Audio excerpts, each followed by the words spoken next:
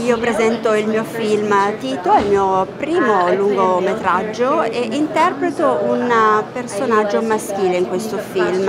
Ho fatto riferimento alla recitazione cross gender per interpretarlo. Ho voluto esplorare il mio lato maschile.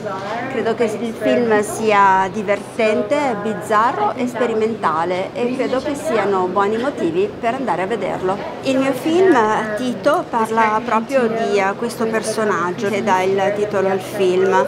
È un ragazzo che è molto spaventato, prova tantissima ansia nei confronti del mondo esterno e soffre di agorafobia. In questa situazione poco per volta si accorge di eh, non avere più cibo e di dover assolutamente vincere la sua paura per andare ad acquistare del cibo.